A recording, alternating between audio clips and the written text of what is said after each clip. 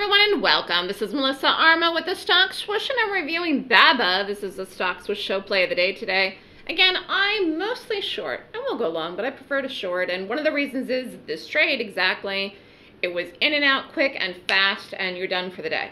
I mean, so you can go for a walk in Central Park. That is the ticket. So let's just take a look. Stock closed yesterday at 77.53. Open in the morning at 76.56. And then we did it. So again, we got in and got out. And actually, I did not get this whole extension here. I had a good exit. I had a good exit. Um, but, I, you know, it, it actually kept going after I got out of it. So just looking here again at BABA, this is the money move. You see here where you could have been in and out in five ten minutes. So the whole point of trading is not to sit and stare at a chart for six and a half hours. In fact, you lose money trading if you're a day trader if you sit and trade all day. Your concentration gets broken by many things that happen in our lives, emails, phone calls, people knocking at the door.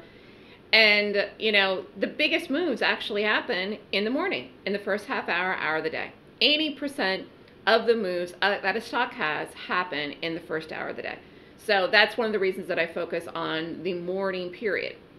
And again, all I do is gaps. So I've become an expert in gaps by trading gaps since 2008. It's completely insane that it's been 16 years I've been trading going into 2024. But it's a long, long time doing nothing but gaps. And so I've really perfected what I do. So I got up in the morning this morning, I rated the gap in BABA, and we did it.